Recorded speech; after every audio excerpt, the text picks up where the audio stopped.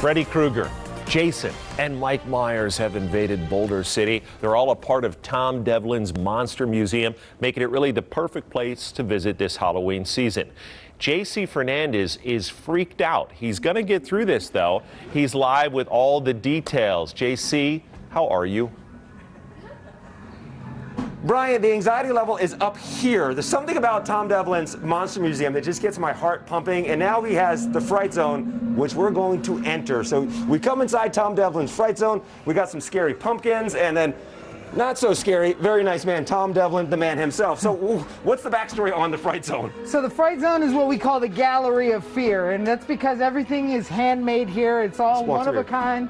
Uh, this is these are props that we construct, the movements, we do the the carvings, we do everything. Now, is it true you're telling me, or you just pull my leg, that this is a haunted room, a haunted building? I believe that the building is haunted, yeah, 100%. All right. Um, it was built in 1931, one of the oldest buildings in Boulder City. All right, coming around here, Lance, come on. Um, we have, what are these here? These are our witches. This is our coven of witches here.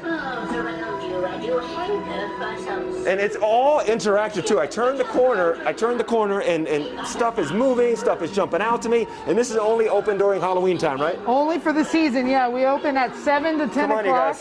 And, uh, and we run it three hours a night and put as many people through as we can. I feel a presence when I walk through this place. I really do. And what's this room back here? We have some uh, pig this is our here. This is our butcher shop.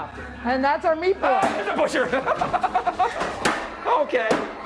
Now this guy here uh, working the deli is what he's doing? He's uh, he's serving up bacon. Okay. Do we walk past him? yeah, first. I'm gonna come through, okay? I don't need any of that. wow! You talk about a heart stopper. Okay, come on, Lance. Let's get out of that room. Uh, come around here. The Fright Zone. Tom Devlin. Fright Zone. What are some of the things here?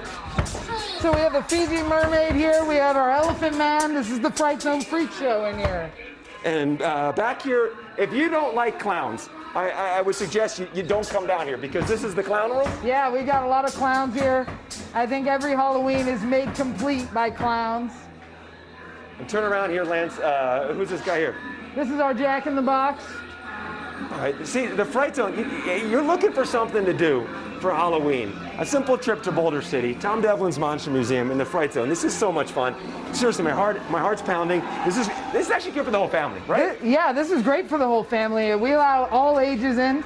This is our Mad Lab. This is where all the scientific experiments happen brain surgeries, stuff of that nature. And, and Tom, you, you get experience working in movies. That's why we see so many uh, cool things like a yeah. head spinning on an we, album. We do a lot of movie effects as well as, as haunted attractions. All right, uh, Brian, Kirsten, Ted, um, I'm going to send it back to you guys because I have to get out of here. Oof, JC was going to have breakfast sausage tomorrow morning. Oh, my goodness. That's no longer an option after what he just saw. Wow. I like how JC just casually went in. There's a head spinning on an album.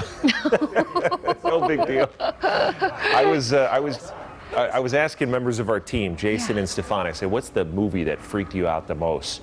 Uh, Clowns from Outer Space. Yeah. From, for Jason. Stefan the Exorcist. I'm going to go Children of the Corn. Ted, what say you? I'd say uh, Gigli with uh, Jennifer Lopez. Oh, my goodness. that was pretty scary. I'm going with Hostel. That was pretty freaky. Mm. Uh, although, I really, in seriousness, I'm thinking Exorcist for me. Yeah. Still to this day. It's just a little bit scarier than Gigli for you? It's just, well, Gigli still edges Exorcist for sure. Who was in Gigli?